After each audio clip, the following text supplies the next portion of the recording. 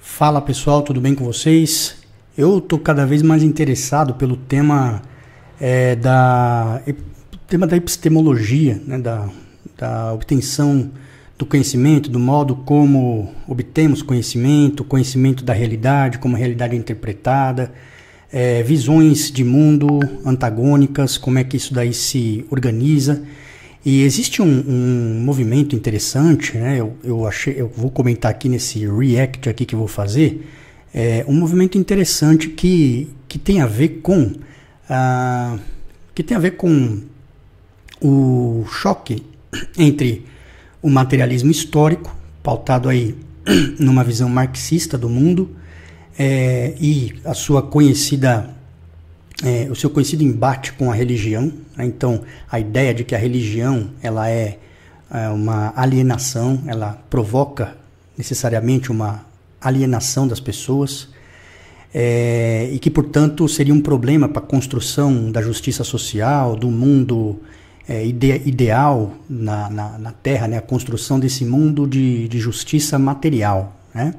Esse é, uma grande, é um grande horizonte é, marxista. E isso se junta com um pessoal, né, uma galera aí no, no YouTube e em outras redes que são ateus, né, militantes ateístas. Então esse vídeo aqui todo foi provocado essa discussão por causa é, de um vídeo, acho que foi do Henry Bugalho, que é, falou sobre os militantes ateístas e tudo mais, né? É, bom, acontece que eu encontrei esse canal aqui desse rapaz lá, é, o canal é Pantarrei, né? E até acho muito legal alguns vídeos dele, gosto, né? Achei interessante, ele é um ateu. Agora, a, tem algumas discordâncias com alguns temas que vão ser levantados aqui e eu gostaria de problematizar um pouco, tá certo? Então, esse aqui é um. Ele faz um react do, do vídeo do João Carvalho, que por sua vez faz um react do vídeo, acho que do, do Henry Bugalho, me parece. Não, de um outro vídeo aqui. E eu vou fazer então o react do react do react, né? Olha só, que loucura. E vamos introduzir ainda talvez o vídeo do Henry Bugalho aqui também. Então, é uma bagunça total, é uma salada pós-moderna, né? Vamos, vamos pensar dessa maneira aí. O mundo hoje é assim. Mas vamos lá, vamos embora, vamos ouvir o que ele tem para falar aqui e a gente vai vai reagir, tá bom? E eu vou fazer alguns comentários.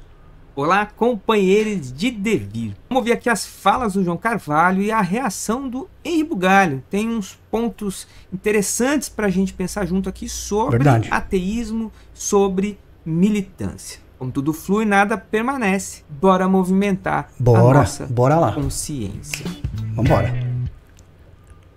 Não pode cair neste erro. Tá? Vocês estão vendo aí embaixo o Ideia Forte que é tipo um Jesus negro com um cigarrinho na mão, falando: não confie em nenhum evangélico, seja de esquerda ou de direita. Não, não. Está erradíssimo. Erradíssimo, jovem. Já apontou que está tão errado que isso é uma despolitização total e realmente um preconceito, tá? Um preconceito. Por que, que é uma, despoli uma despolitização ser... total e um preconceito? Bom, primeira coisa, preconceito eu já concordo, né? Já vou sair na concordância aqui, que é você achar que uma pessoa por ser religiosa é uma, uma má pessoa, uma pessoa em que não se deve confiar, é muito louco isso, né? Isso é assim, é o, é o absurdo do, do preconceito humano, né? Do, do, de se deixar levar por rótulos, né? Aquelas coisas bem caricatas mesmo, né? É, infelizmente a sociedade, o debate é muito pautado por isso hoje em dia.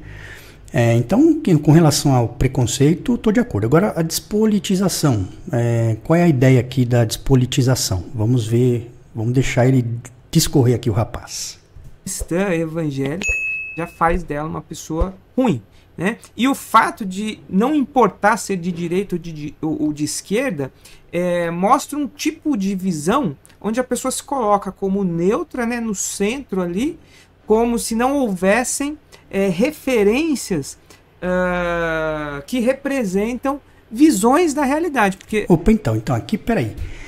É, vamos fazer uma pausinha aqui. A questão do, do, do preconceito eu estou de acordo, né? Aliás, só para complementar o que eu falei, é, você achar que uma, uma visão de mundo, uma visão que seja legítima, né? uma maneira de enxergar o mundo, que não seja tentatória, de direitos humanos, né, que seja da dignidade humana, mas que seja apenas uma visão sobre o mundo, torna qualquer pessoa que seja é, uma pessoa ruim, é um absurdo mesmo, né?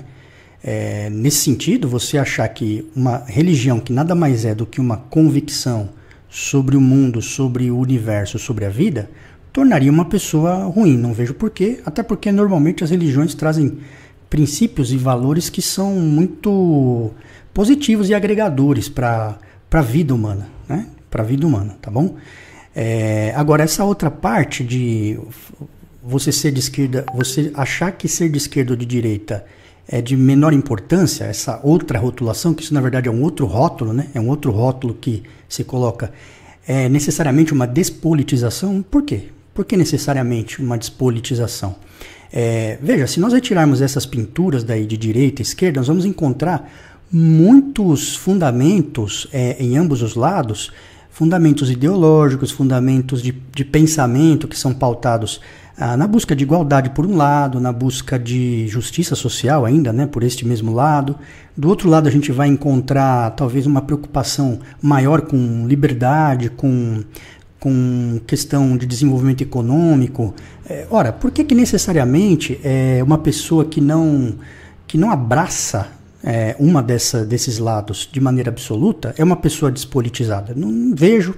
Sabe, é, é esses, esses re reducionismos do pensamento é que eu acho que são complicados. Né? É, eu não, não, não vejo é, como que a gente possa enquadrar o mundo em caixinhas assim tão bem é, colocadinhas, né, para organizar a nossa vida. O mundo é, é, mais complexo do que isso, tá?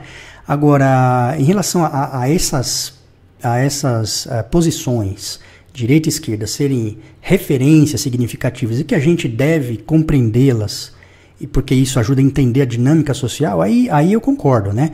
Mas agora, um, hora você vai estar tá em determinado assunto, talvez mais alinhado de um lado ou de outro, e e bom, não sei por que, a gente tem que botar uma corzinha nisso daí. É, essa aqui é a questão que eu me coloco. É, você ser de esquerda ou você ser de direita, uh, de direita tem a ver com a visão que você tem, com as defesas que você faz sobre uh, como deveria ser as coisas, né? Ou sobre como você entende uh, que a condução da, do, do, das pautas políticas devem acontecer, né? Então, mas é absoluto isso? É absoluto?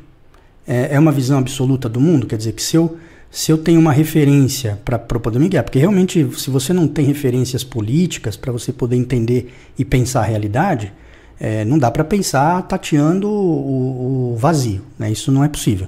Mas é absoluto isso? Quer dizer, é, isso determina, é, é determinante no modo como eu penso que devem ser conduzidas as pautas políticas ou eu posso discordar, né?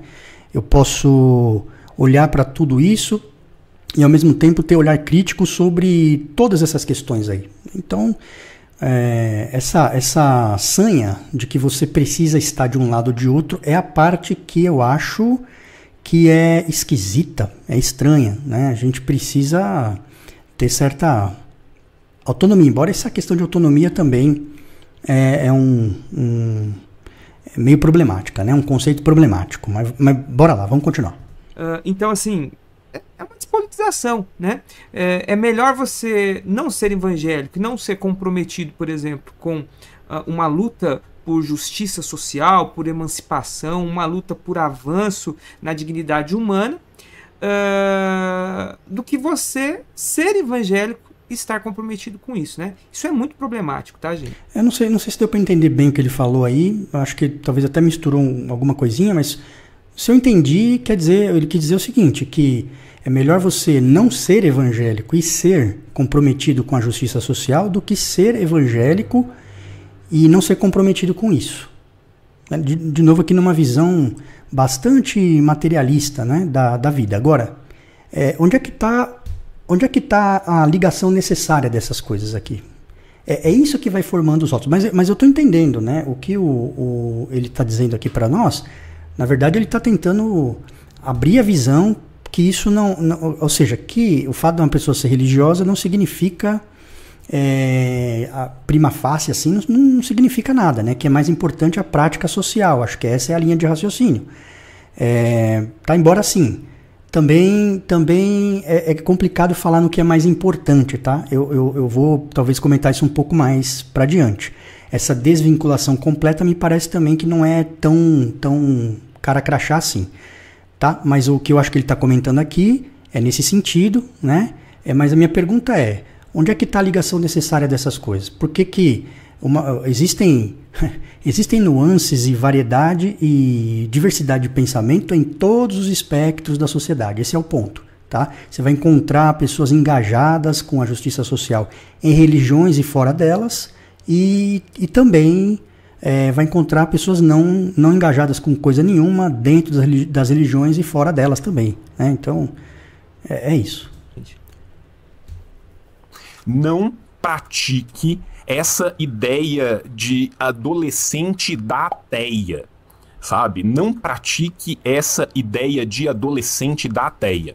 Hoje de manhã, tá? Eu vou até colocar aqui na tela para vocês, tá? Eu vi esse comentário aqui do, do Habib, né? Que ele coloca uma coisa que é maravilhosa, né? Todo mundo viu, passou em tudo quanto é lugar, a Choquei, maior agência de notícias sérias do Brasil, colocou, né? Durante o culto, o pastor Hermes Carvalho Fernandes condena a atitude de preconceito de cristãos contra a comunidade LGBTQIA+. Sabe qual é o espinho na carne de um homossexual? A homofobia. Esse mundo tá cheio de mensageiros de Satanás, como André Valadão e Sila Malafaia Nós temos que dar nome aos bois, porque senão o mundo pensa que a gente é tudo farinha do mesmo saco. Aí é isso, né? É isso que ele está colocando aqui. Dentro das religiões, assim como em todos os segmentos do mundo social, existe, existe diversidade, existe pluralidade de pensamentos, existe todo tipo de gente. Por exemplo, essa coisa de você querer colocar um rótulo, né, dizendo assim, ó, o, o religioso é uma pessoa preconceituosa, é, isso é uma falácia, né? Embora eu reconheço sim que certos apegos fundamentalistas a valores morais, a valores e, e o, o, uma religião, normalmente ela está centrada em um conjunto de valores, isso pode levar as pessoas ao extremismo religioso, ao sectarismo e pode levar as pessoas a um ódio pelos outros seres humanos. É, agora, não é só, esse é o ponto, não é só a religião que provoca isso. Esse tipo de alienação mental é provocado por, por ideologias de um modo geral, quando abraçadas sem senso crítico, tá certo? Então essas, essas coisas, elas produzem pessoas desumanas muitas vezes, em nome de apego a, a certos valores, esquecem do ser humano como a, o fim né, em que nós devemos é, pautar as nossas ações no, no, no, humanismo, tá bom? Mas isso não é provocado só pela religião, não. Embora eu reconheça que a religião pode sim levar a isso, e por causa dos valores morais que, que estão presentes nas religiões, é, ali pode ser um campo fértil para isso. Mas não é só ali, não. Né? Se eu falar das ideologias é, marxistas, por exemplo, né? E, e olha que aqui eu vou fazer uma ressalva. Eu acho o Marx um gigante, né? Marx e Engels são dois gigantes da, da filosofia, da, do campo da sociologia, da economia, fazem ali diagnósticos importantíssimos sobre a distorção e a, opressão do sistema capitalista. Agora, o problema às vezes não, não é o, o, a teoria do Marx em si mesma, não é?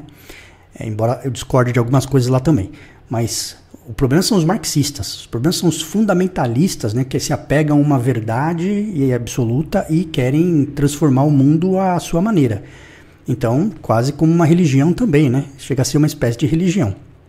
E há também os fundamentalistas religiosos. Então, as ideologias teístas e as ideologias ateístas podem produzir alienação mental e que no limite vai ser prejudicial à convivência humana, né? a, a vida entre os seres humanos.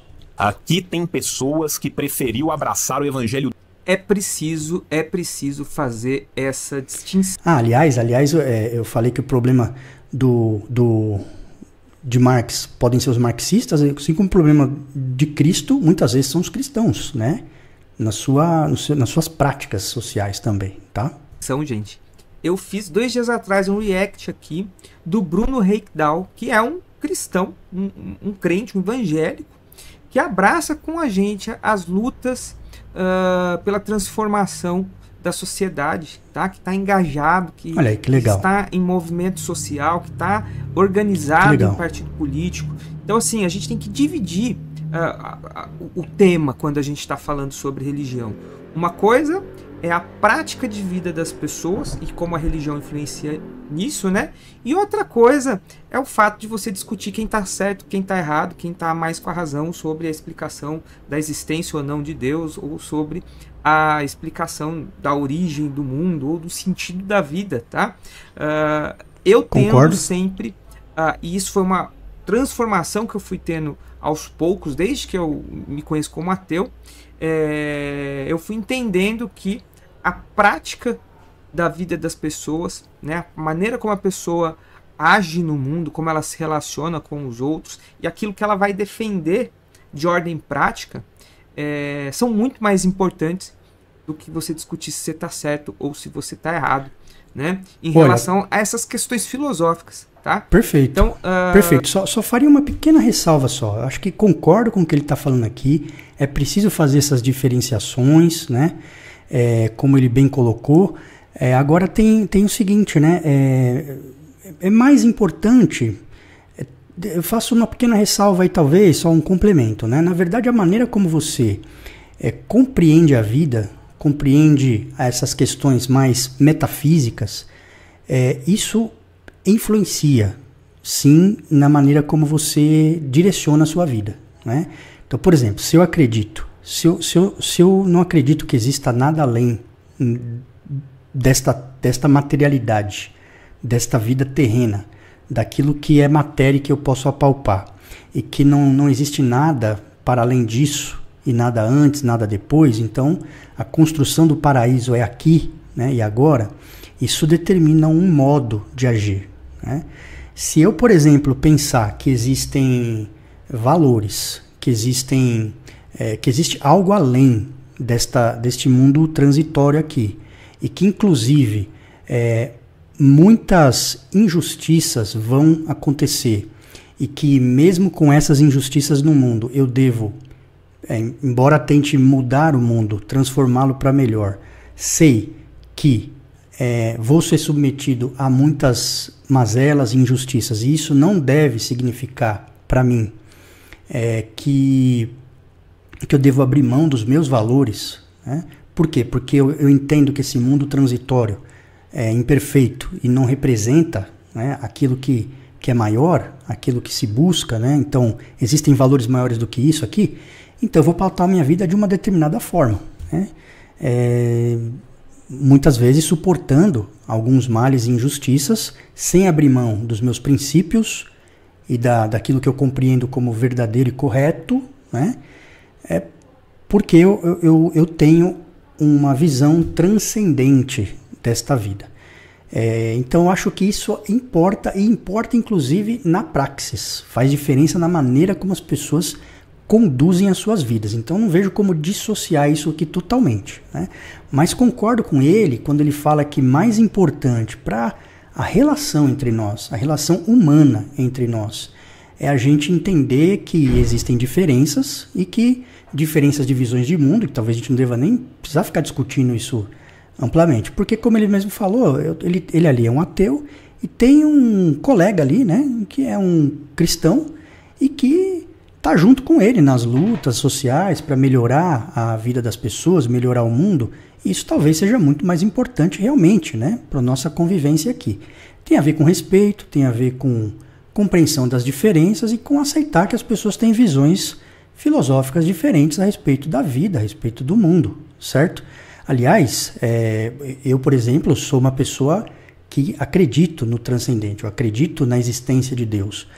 E se eu pegar, por exemplo, a, a lição de Cristo, né? Cristo é, às vezes ensinou para aqueles que o seguiam que, olha, meu reino não é deste mundo. Meu reino não é deste mundo. Então, vocês não precisam pegar em armas, por exemplo, aqui fazer a revolução contra Roma, porque essa não é a minha batalha.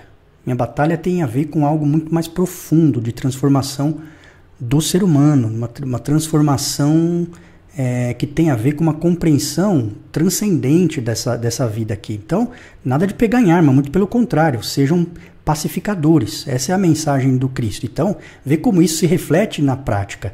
E ele ainda, o Cristo dava tanta importância à prática, que é o que o, o meu, meu amigo aqui está falando, que ele dizia isso, né? Olha, se você acredita no que eu estou ensinando, então faça, né? Me siga, siga o meu exemplo, né?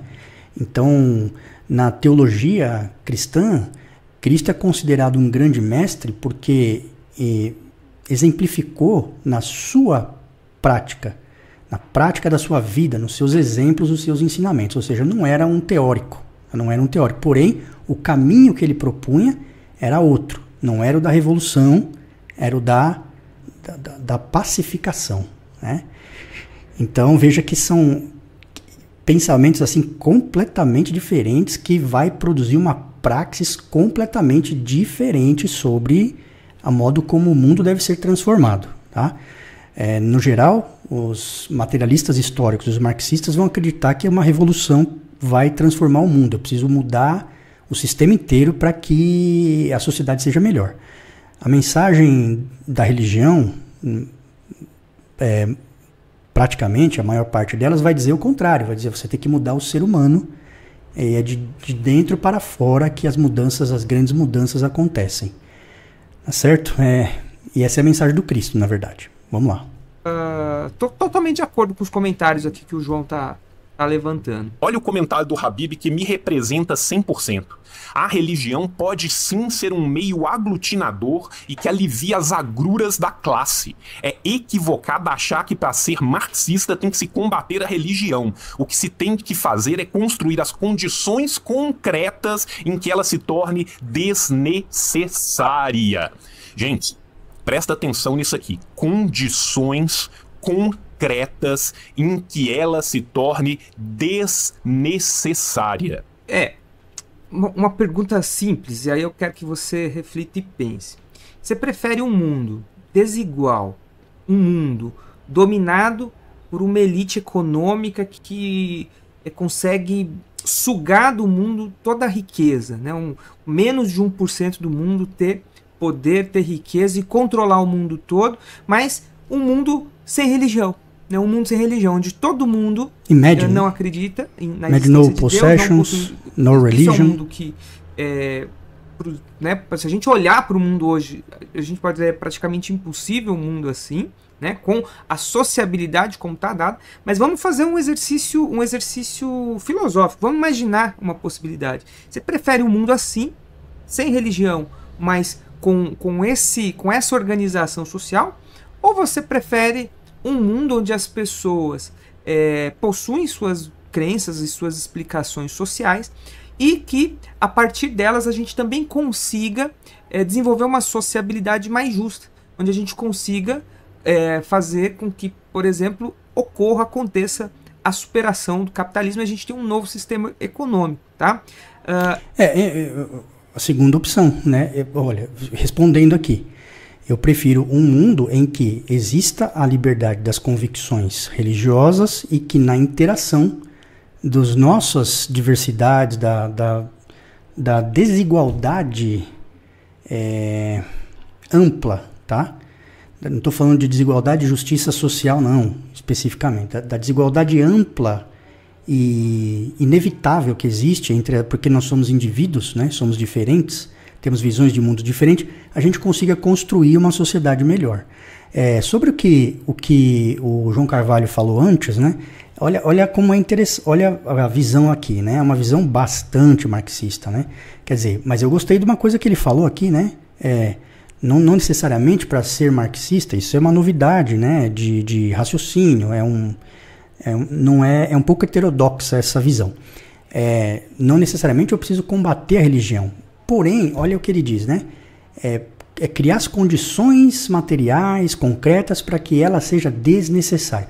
Aqui, desculpa, mas eu, eu penso que aqui é uma visão muito reducionista da religião. É como se.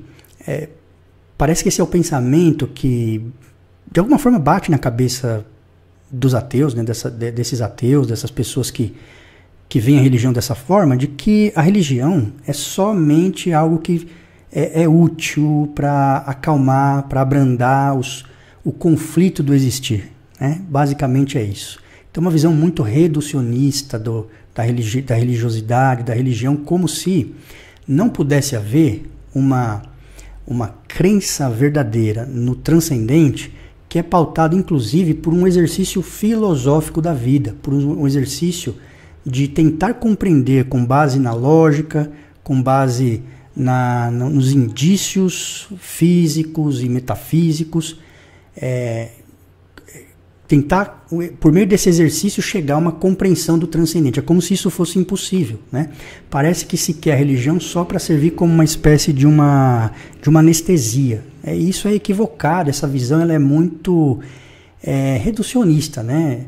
Ela bota um rótulo ali e reduz a experiência religiosa a uma coisa assim, ah, me dá isso aqui porque eu preciso desse alívio, né? porque eu não consigo viver com as contradições, as injustiças do mundo, aquilo que eu não posso explicar. Quase tornar a religião como um mito, né?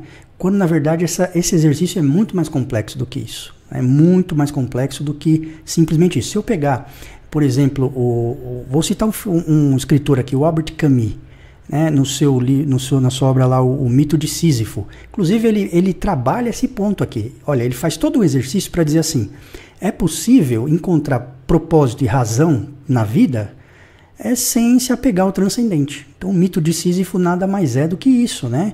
É Sísifo carregando a pedra até o topo, aí desce, aquela pedra rola lá para baixo.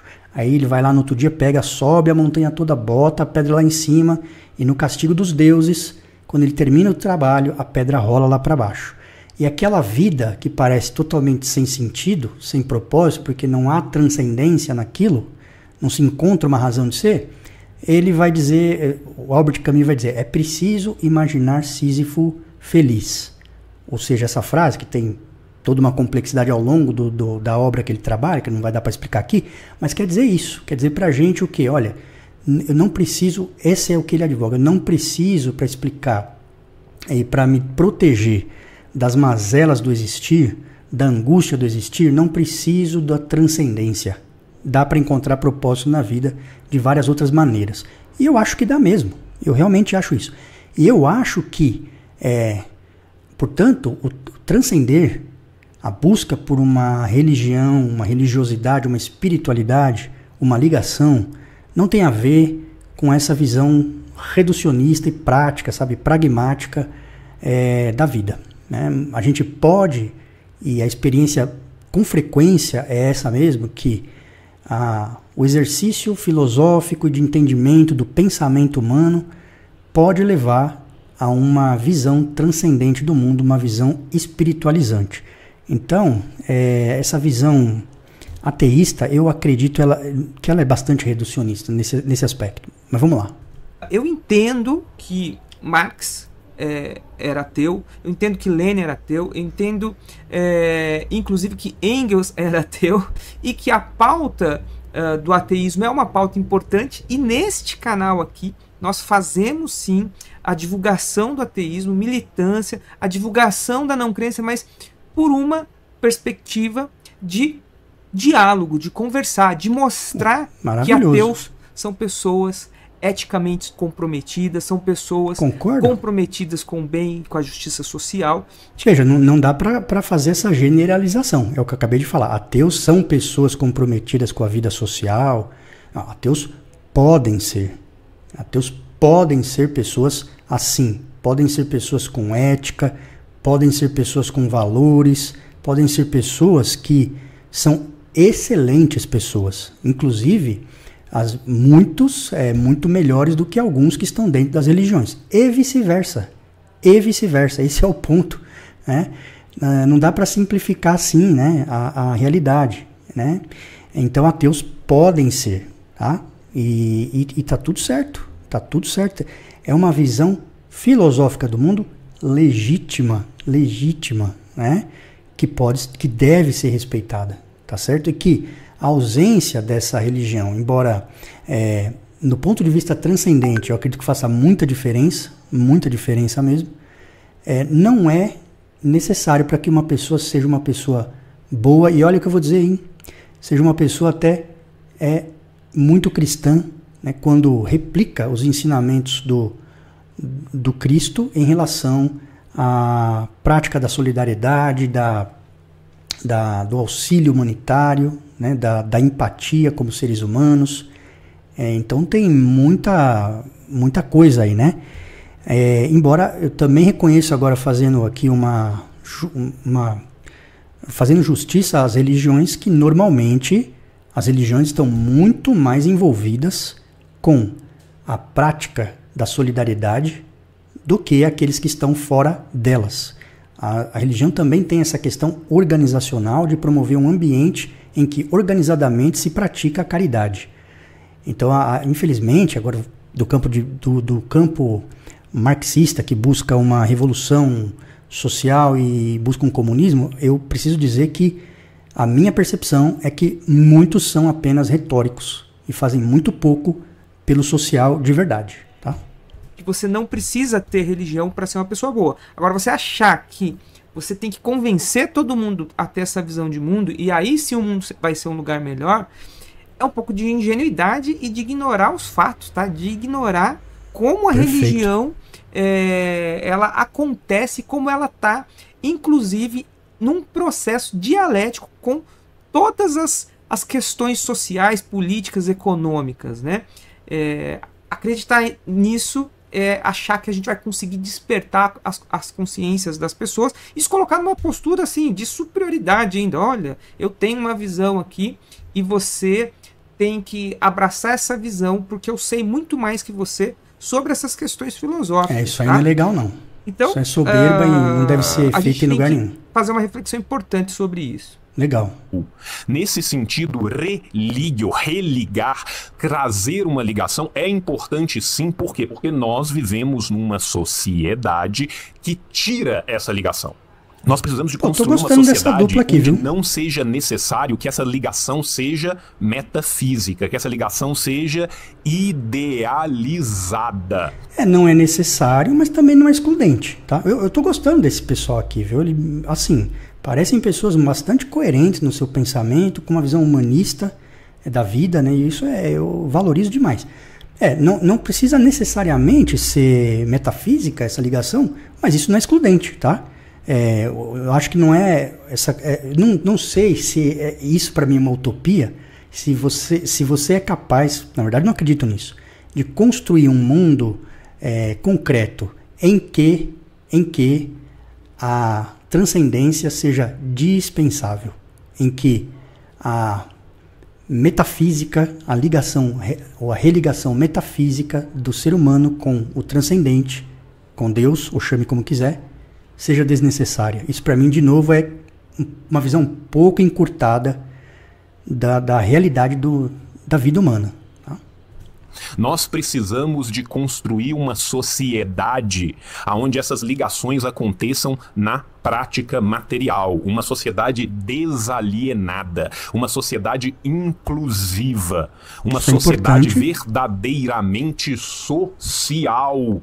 Entende, gente? Não seja ateuzinho da ateia. A gente pode problematizar. Não fique tá? birulei. A gente pode problematizar isso porque a religião, a maneira como ela trabalha a consciência das pessoas, como ela está é, processando nas consciências uh, das pessoas, nas relações dos sujeitos, né, que é, elas justamente elas possuem mecanismos que tornam as pessoas alienadas. Aí, aí, então, aqui vamos falar até um pouquinho aqui para comentar isso. Não, desculpa, mas é, isso pode de novo, é da ordem da contingência. Isso pode acontecer. Mas, mais uma vez, é, quem disse que as ideologias ateístas do mundo não produzem pessoas alienadas? Mas a produzem demais. Mas produzem muita gente alienada. Mas muita gente alienada. É muita gente, e você vai encontrar os baldes aí pela internet, mas há os baldes, né, com, a, com a, o advento aí das redes sociais, de de gente alienada, de carinha totalmente fora da realidade, que pega um, uma, uma visão idealizada do mundo, da, da teoria que ele pretende implementar, pela qual ele compreende o mundo, e não consegue enxergar mais coisa nenhuma. O mundo tem que caber naquela ideologia dele, tem, mas tem que se encaixar de qualquer jeito ali. Isso aí tem a rodo, a rodo de gente fanatizada, de gente que não consegue pensar por si mesmo, né? Nossa, mas isso isso tem não só isso, a religião também pode produzir isso, também pode, né? Mas essa ideia de achar que religioso é gente alienada, colar esse rótulo aí, é assim, é, é um pensamento bem, bem, bem estreito, na minha opinião, tá?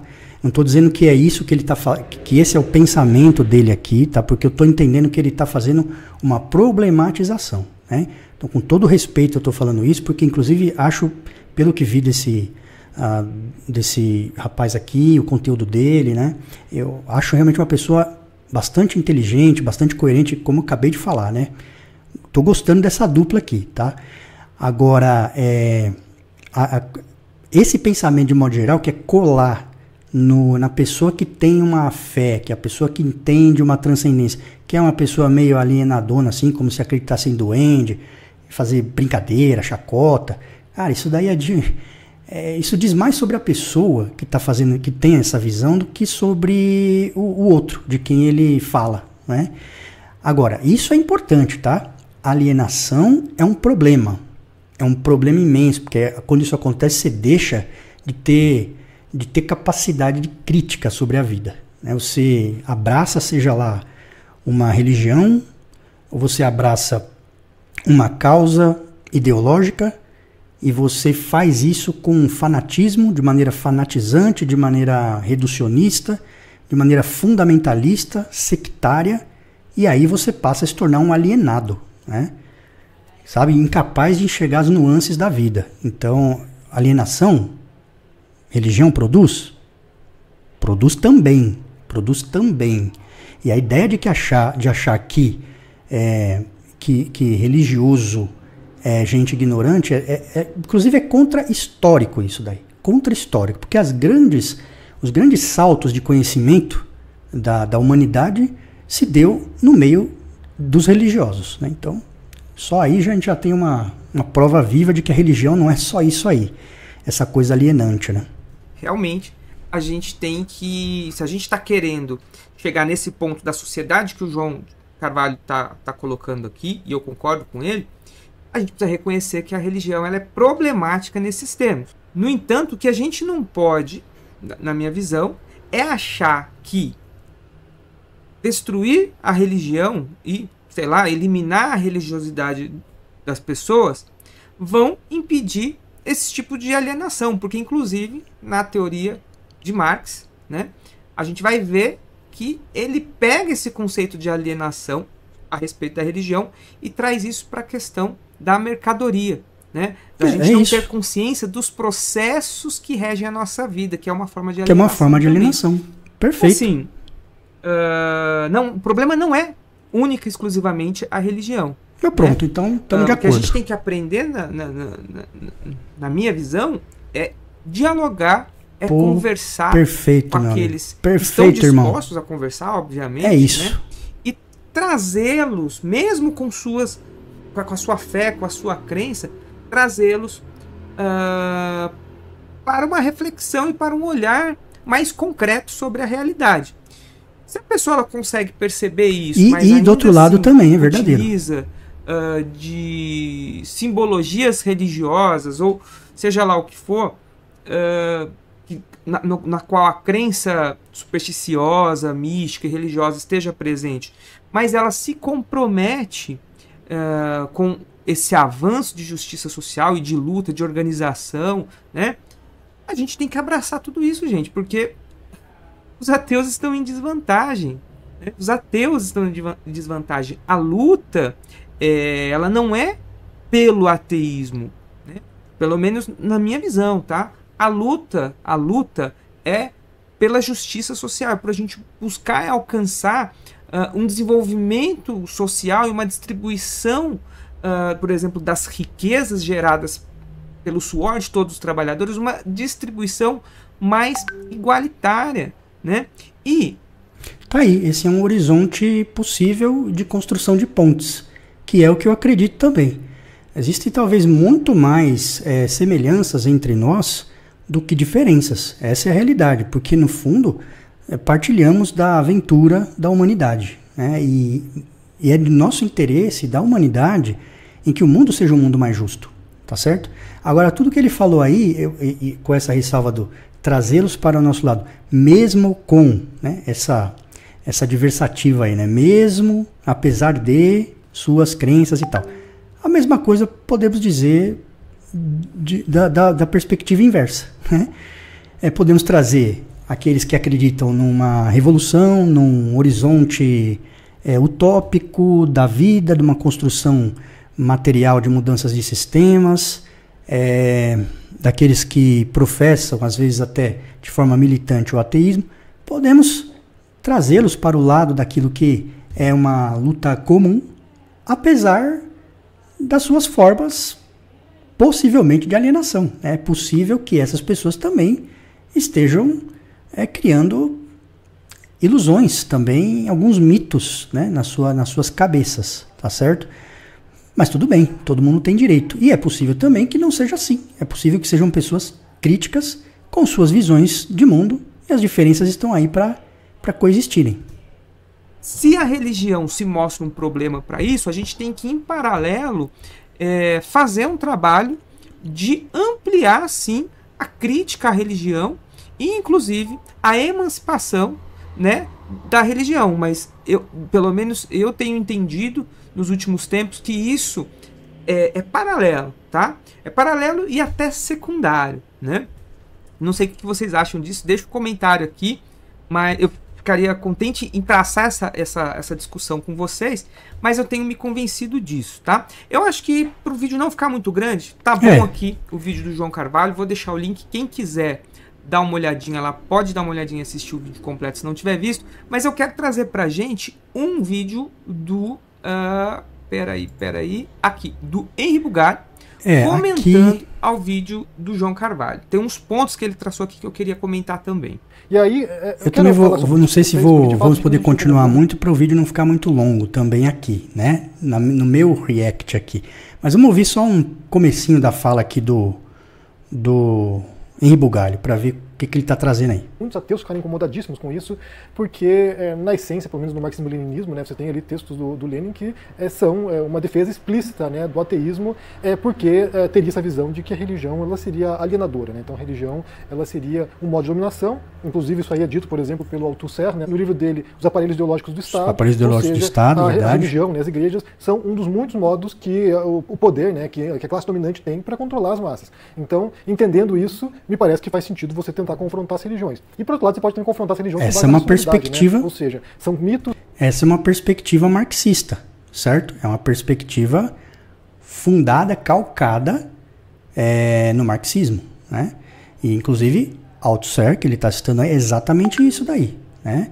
É, os aparelhos ideológicos do Estado, naquela visão, né, de que das, da, da, é, da estrutura, né, nasce ali, eu esqueci o termo exatamente, mas é de que de uma infraestrutura vai surgir uma superestrutura, né? que a infraestrutura que está por baixo ali, que dá sustentação a todas as instituições que se levantam, né? Ah, são, ah, que é, é, melhor dizendo, o capitalismo, né? É a, as relações de produção, né? Pautadas na, na, na mercadoria. E dali surgem todas as, as instituições da sociedade que acabam se tornando aparelhos ideológicos do Estado. São, então, nesse sentido, a família, o casamento, a escola, a, a igreja, a religião, tudo isso nessa visão é produto desse movimento materialista histórico, né? Quer dizer, está saindo daqui, está brotando das relações de produção, tudo isso que funciona como aparelhos ideológicos do Estado, para justamente manter esse, esse mesmo estado de coisas. De novo, é muito interessante, isso, isso, isso não é coisa sem sentido não, tá?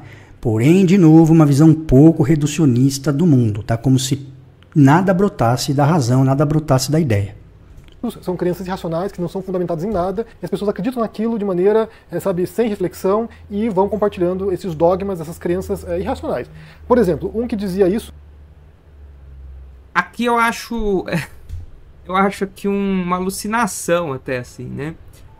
É, a gente achar que a razão, essa ideia de que a razão vai sal, salvar tudo, né? Obviamente, gente, que a razão ela é um ponto importante, né? Ela é um instrumento que se tornou funcional para a gente lidar com a, com, a, com a nossa realidade e é por isso que a gente, inclusive, está aqui traçando esses debates na internet.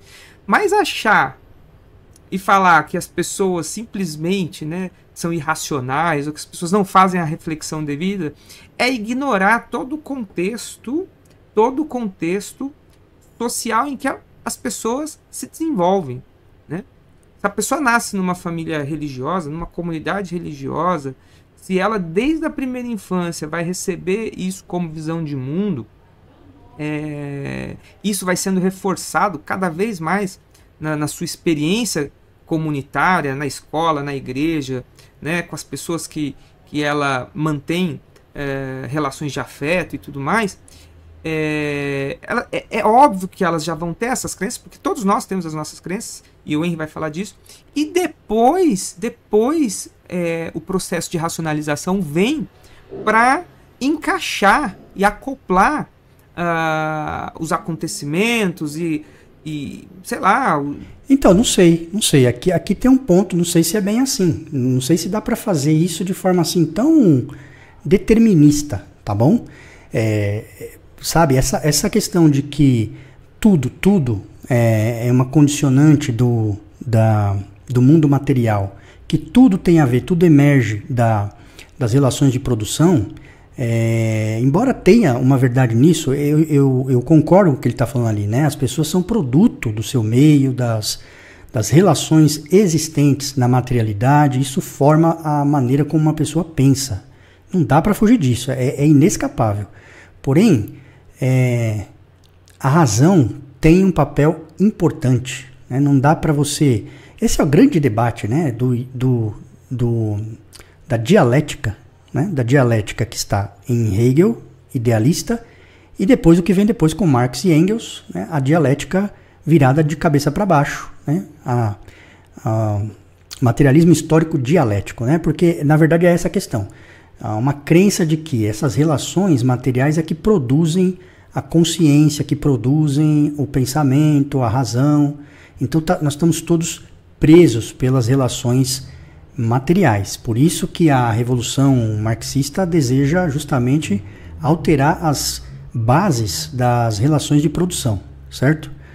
Agora, é, isso é um pensamento que manco, né? mutila uma grande parte da realidade, porque não dá para você reconhecer, junto com Hegel, que a, o, o ideal, né? o mundo, a questão das ideias, a razão, ela também opera né, essa, ela opera, opera em contradições, inclusive, enxergando contradições e promovendo mudanças no mundo. Então, é, não é que a razão vai salvar a, a humanidade simplesmente, mas a razão ela executa um papel importantíssimo, é fundamental para a mudança do mundo. Se não fosse assim, nós, todos nós estaríamos presos sempre é, no mesmo pensamento e o mundo não iria evoluir jamais, né? não teria um salto de pensamento, o mundo não evolui. Né? Mas vamos lá, vamos ouvir mais um pouquinho para a gente concluir.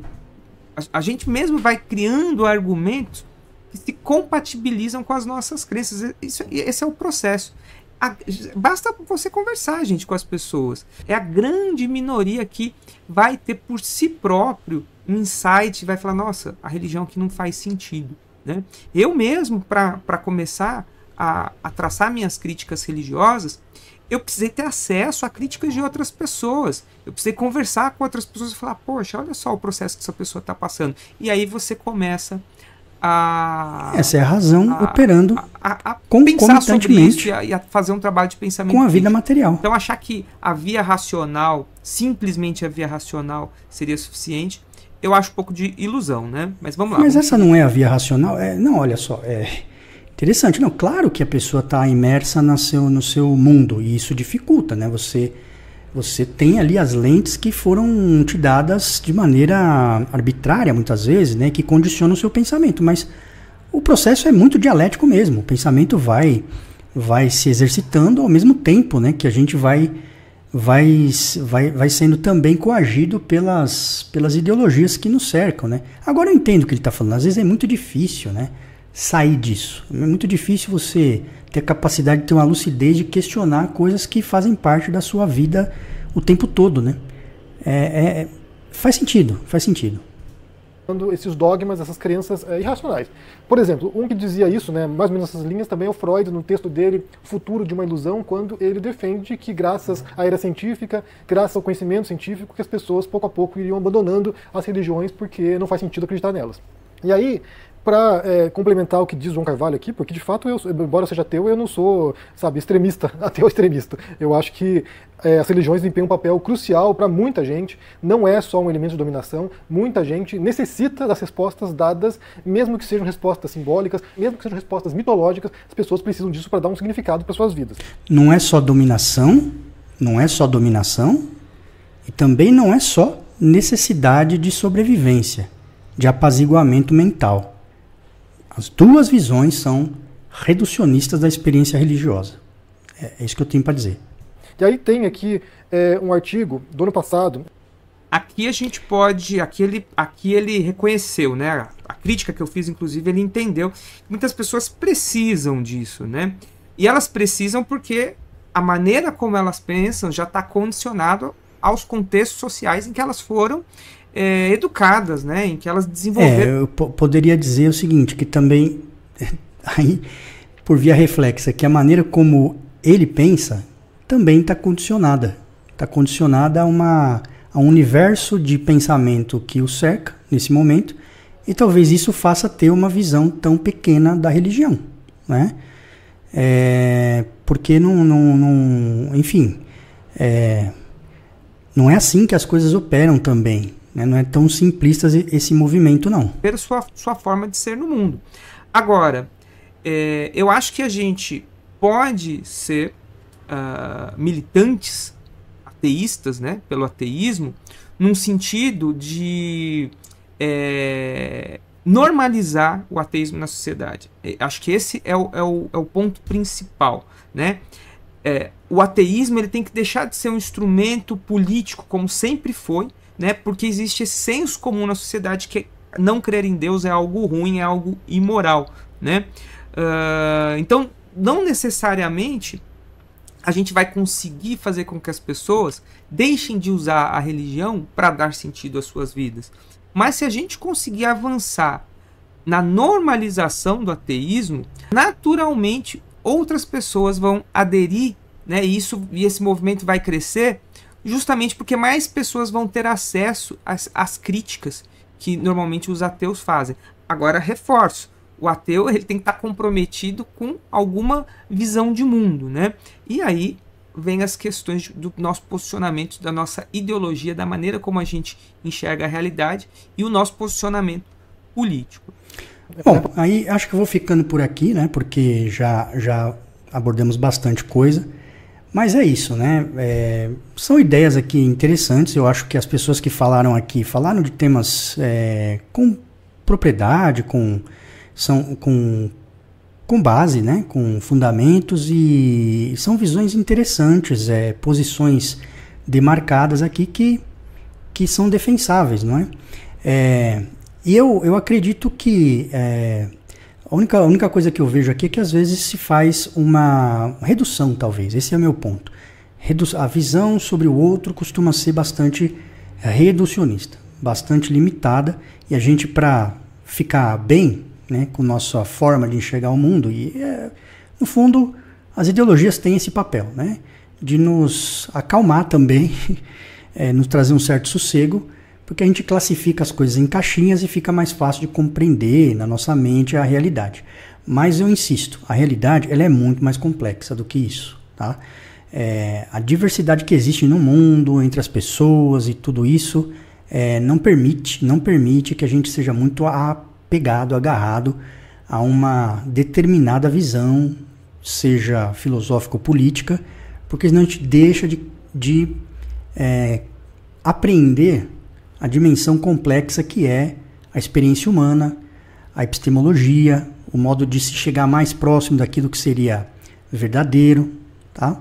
Então, Esse é meu ponto, tá bom? Bom, deixa aí o que, que você pensa de tudo que nós debatemos aqui, seus comentários, porque isso aí certamente enriquece a discussão. E bora aí para outros debates mais para frente, outros vídeos e outros temas interessantes aqui nesse nosso canal, tá bom? Até mais, pessoal. Nos vemos aí nos próximos vídeos. Tchau, tchau.